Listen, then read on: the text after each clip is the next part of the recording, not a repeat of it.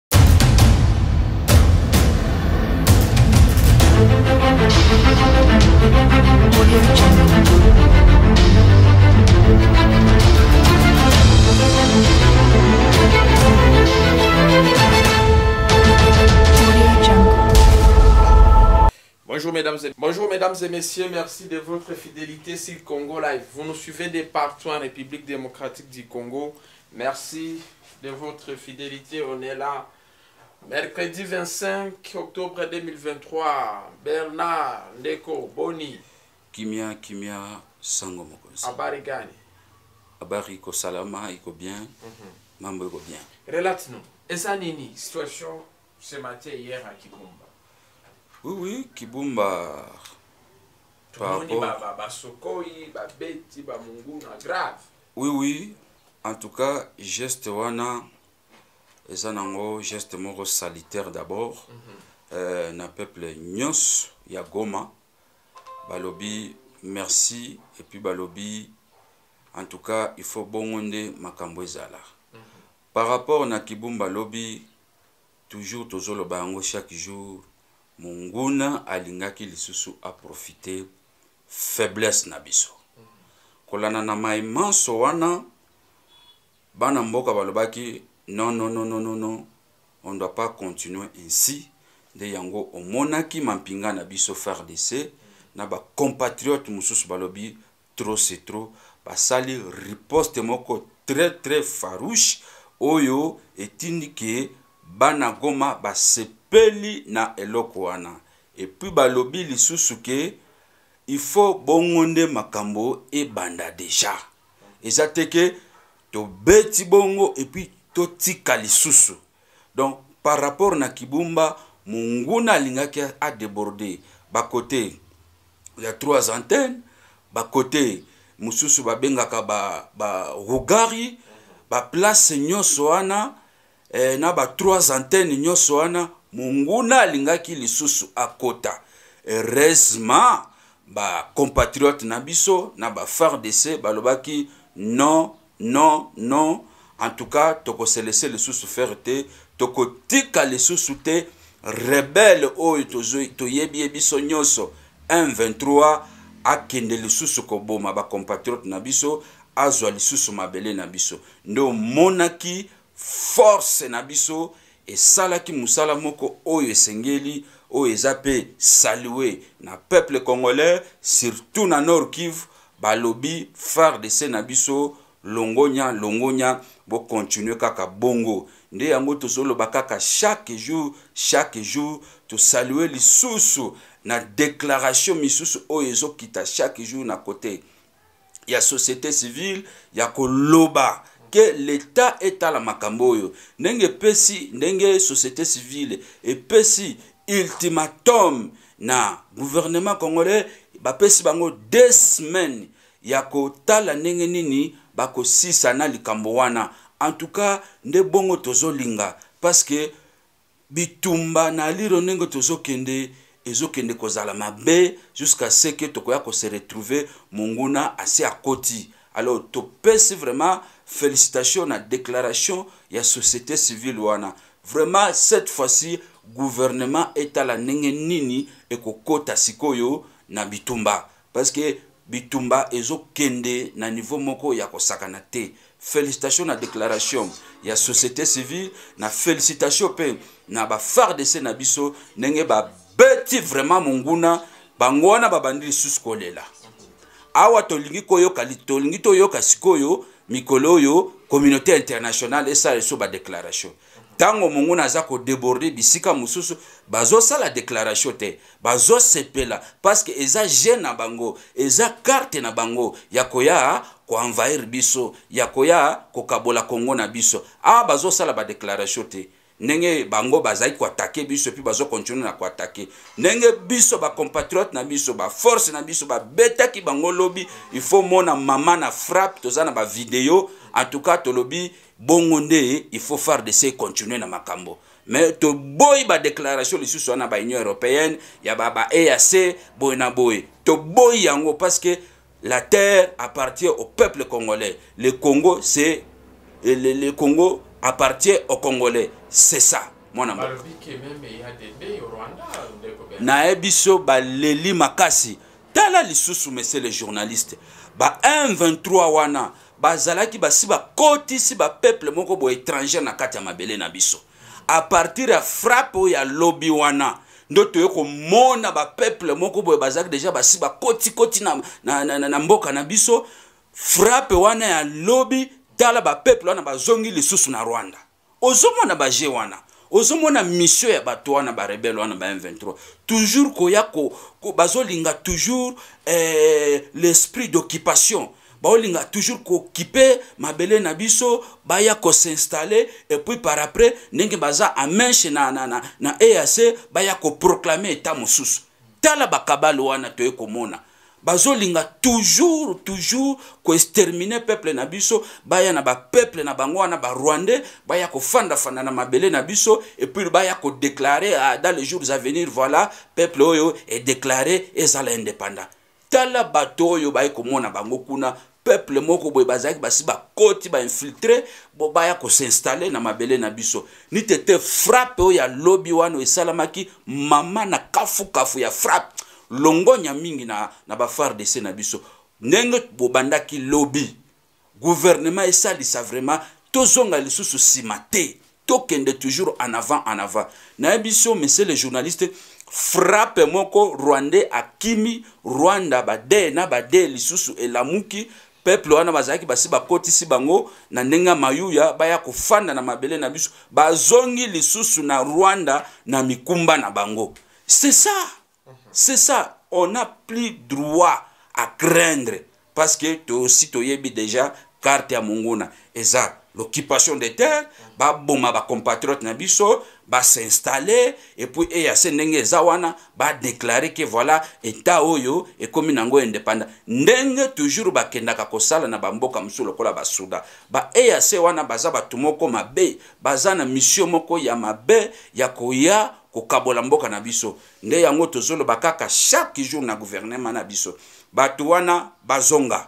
le 8 décembre ekoka te le 8 décembre ekoka te na ndenge bamoni dimension ya guerre basentir ke nonono mboka oyo en tout cas baza fort à ce qui concerne la guerre nde bongo il faut tokende na bango kaka bongo pas question lisusu ya koarrete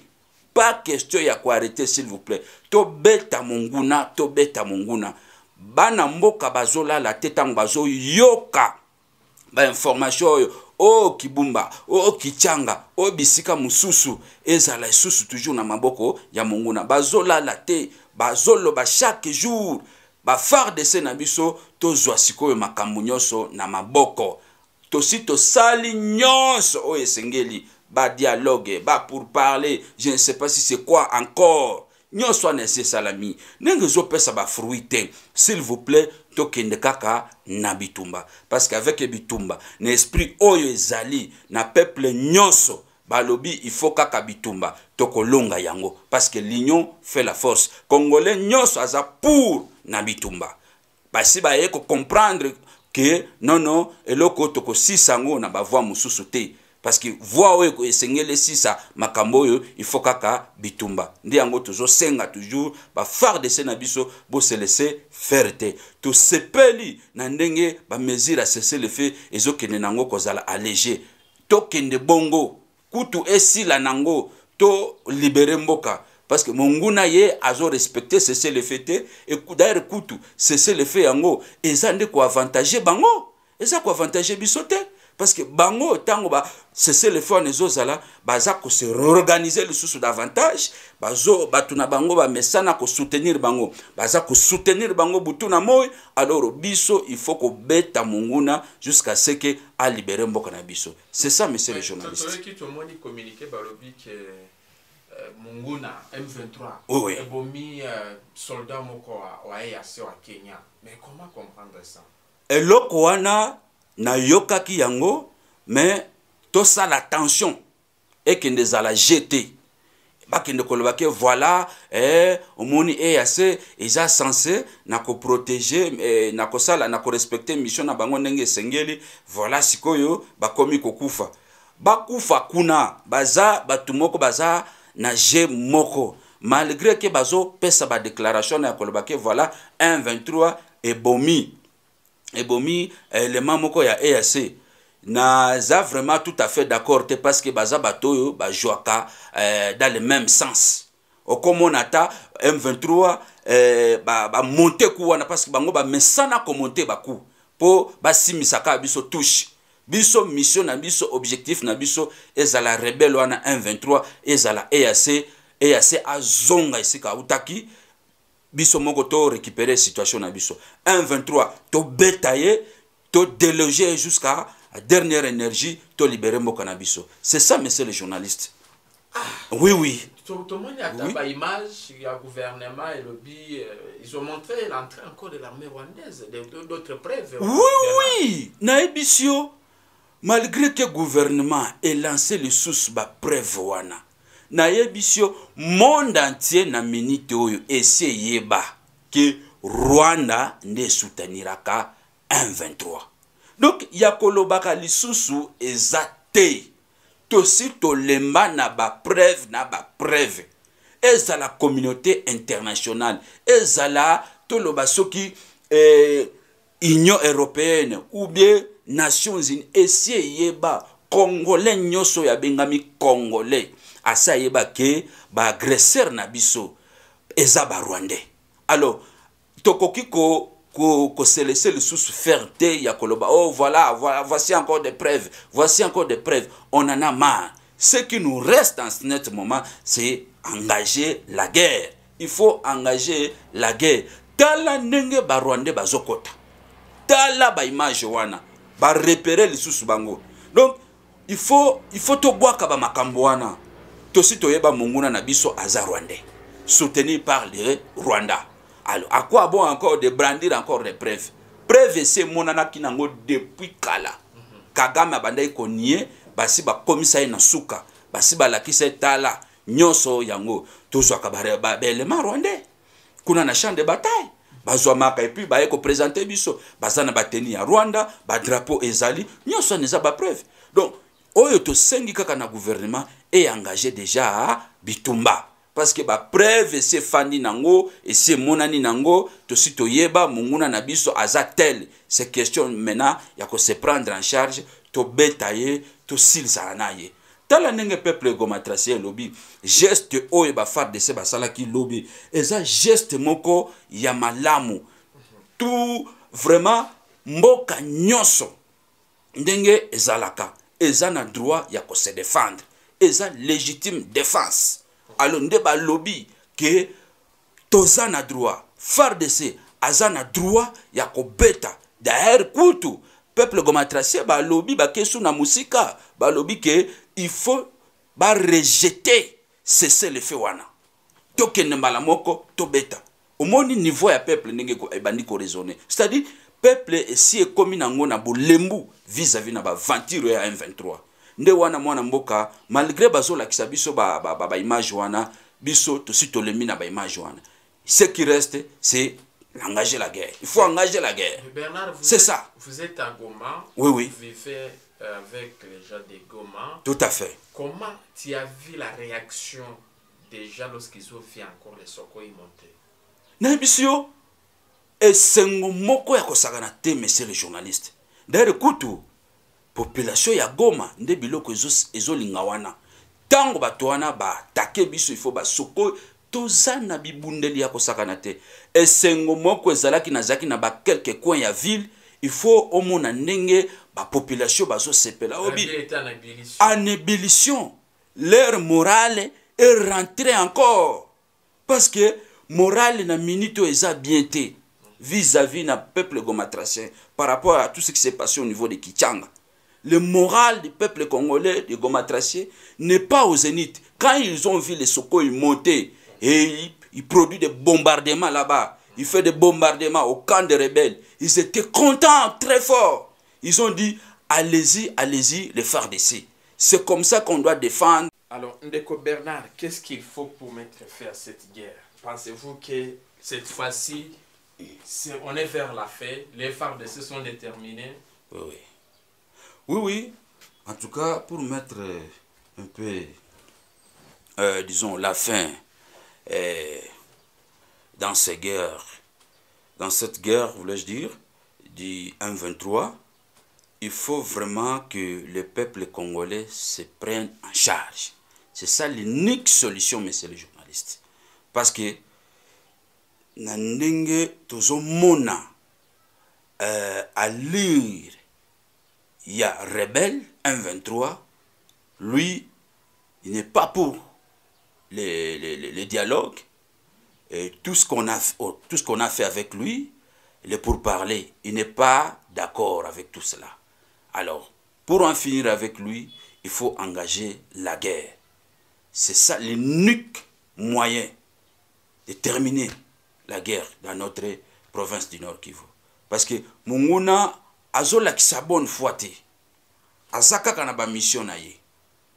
rien ne sert de conjuguer avec lui il faut toujours finir avec lui moyen de la guerre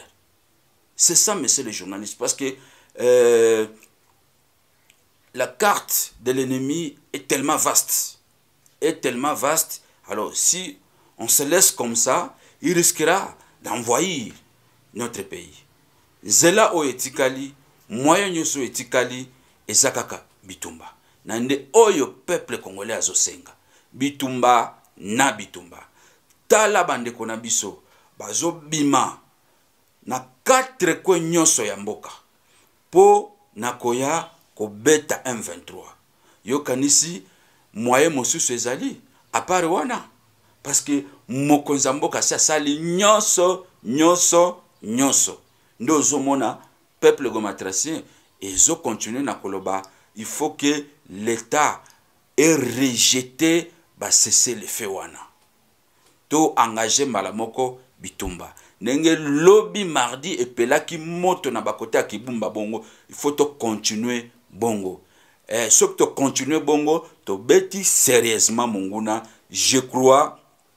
monguna akosakana esu na biso te ekozala lisusu mm, leson morale oyo tokopesa ye dans les jours à venir asonjaka lisusu te koya kobondisa biso parce que na ndenge tobetaki ye lobi epesi ye leson alors soki tocontinue na ye bongo 5 jours 4 jours eh, une semaine je crois akoloba aa nakozongaka lisusu na congo te parce que façon oyo bana mboka base determine mpo na kobenga ngai eh, mpo na kobeta ngai serieusement ekotinda lisusu te nazonga omoni rebele wana 123 ye azalaka se amesani na bacorruption na bainfiltration nyonso wana alors il faut kobeta ye serieusement tosilana na ye ye aza lisusu na, na, na, na carte mosusu ya kosala te apart la guerre ndenge azomituta tolo il faut la guerre la guerre il faut mpe biso tolakisa ye tokei na, tokei na ye na bavoi nyonso azokoka kaka te azocomprendre te azondima te alors il faut kaka bitumba peuple nyonso eza pour mpo na bitumba baoyo baza na na libanda ya mboka baza pour mpo na bitumba baoyo baza na kati ya mboka baza pour mpo na bitumba meme na basoda na biso bazozela kaka mot d'ordre na ntango mot d'ordre wana ekokita je crois match ekozala lisusu te match ekosila nango nde yango wana ozomona monsieur le journaliste l'unique solution oyo toza nango c'est engager la guerre il faut engager la guerre pour en finir avec ça c'est ça messieurs les journalistes et les militaires sont déterminés oui oui ils sont totalement déterminés je viens de vous dire ici ils attendent seulement les sifflets les militaires attendent seulement les sifflets dès qu'on va siffler et on va déclencher la guerre D'ailleurs, c'est ça les soucis du peuple congolais. Il faut que le gouvernement engage la guerre. Engage la guerre. Regardez, regardez les camps de l'ennemi. ils sont prêts pour engager la guerre. Et ils engagent ça chaque jour. Chaque jour, ils engagent. Pourquoi pas maintenant de notre côté ne sommes pas une nation, euh, une nation qui va continuer toujours à observer les choses. Non, non. L'EAC est là et faillit à sa mission. C'est maintenant nous de se prendre en charge. Et les ces nos ces sont prêts à engager la guerre. Ils sont prêts à engager la guerre. Même tout, tout, tout, tout Congolais est prêt à engager la guerre. C'est ça, monsieur le journaliste. Toboyi makambo lisusu ya baseselefe. Toboyi makambo nyonso oyo ezolobama il faut lisusu tokende eh, badiplomatie ba banini nyonso wana eselembisi peuple congolais na oyo tolingi kaka gouvernement edecrete état de la guerre eloba voilà Peuple congolais bobandaki kolela bitumba yango oyo bitumba ebandi okomona ndenge dans une semaine monsieur le journaliste tokosisa baaventure wana m23 parce que baza makasi te ndenge tolobaka chaque jour baza makasi te baza na arme mibale oyo bazoutilize mbongo na makambo mosusu ndenge baza en covivance na eac nde arme na bango oyo se etikali ko corrompre bana mboka mm -hmm. EAC epesaka bango ba nzela voilà nde l'unique mission oyo baza nango wana c'est ça euh, pona FRDC message ya FRDC FRDC tosengi na bino na bakonzi ya mboka tosengi na bino ndenge bopelisaki moto lobi mardi e continue bongo tolibere mboka banzela nyonso wana tala lisusu ezongi ya kokangama Toko vivre ndenge nini? Boyokela biso mawa. Ba fardc bo engager mbala moko bitumba. Nde eloko tozo senga epa na bino. Parce que tolembi, tolembi, tolembi makasi. Peuple nyoso eza sima na bino na mabondeli na soutien mok total. Alors tosengi na bino bitumba ezonga to libere mboka na biso tofanda kimia. Monguna aza na carte mususu te à part ko balkaniser à part euh, l'esprit de l'occupation. C'est ça. Nous sommes sur le plus 243 994 28 60 67. Et c'est ça le numéro de WhatsApp et de Airtelman. Merci beaucoup. Merci mesdames et messieurs de nous avoir regardés.